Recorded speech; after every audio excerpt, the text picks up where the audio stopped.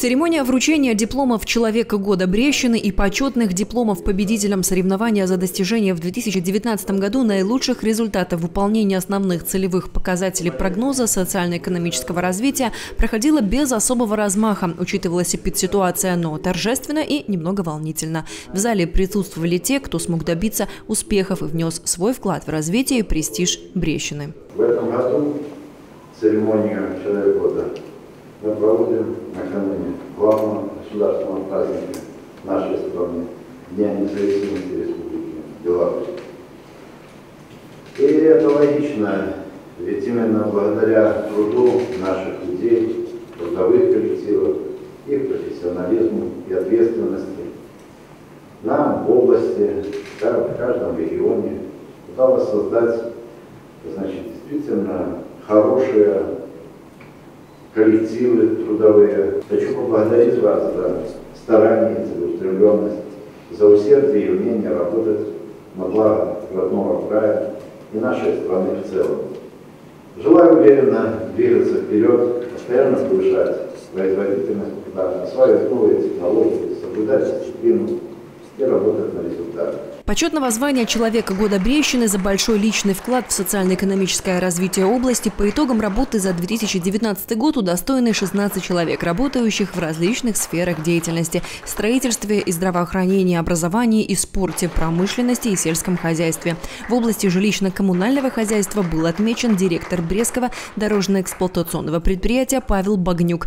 Награда вполне себе ожидаемая, ведь в прошлом году к тысячелетию силами работников ДЭПа сделано очень много. Без ложной скромности хочу сказать, что, конечно, когда тебе замечают и отмечают, ну, конечно, приятно.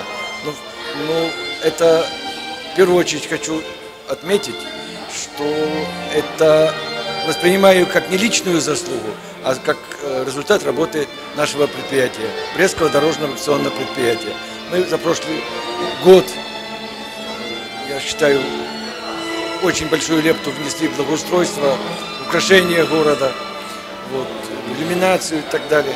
И, наверное, это было руководством замечено. Поэтому большая благодарность и руководству города, и области за то, что нас заметили, отметили, и это заслуга нашего предприятия. В области здравоохранения были отмечены сразу два лауреата. Главный врач Брестского областного эндокринологического диспансера Артур Григорович и главный врач областного психоневрологического диспансера Николай Сказкевич. Для людей в белых халатах это высшая форма поощрения. Сегодняшнее мероприятие, конечно, очень волнительно, потому что Э, понимаю, что достигнута очень высокая планка, очень высокая оценка э, заслуг, очень э, высокая награда, поэтому чувства противоречивые. С одной стороны, это позитивное чувство, признание твоих заслуг, но с другой стороны, я понимаю, что планка достигнута очень высокая и придется прилагать усилий еще больше, чтобы соответствовать этому статусу. Их фотографиями украшена доска почета. Сегодня они лучшие в профессии. Руководители, учителя и врачи, деятели культуры и спортсмены. Такая награда обязательно привлечет внимание их коллег, тех, кто, возможно, захочет равняться на лидера, а может и повторить его опыт.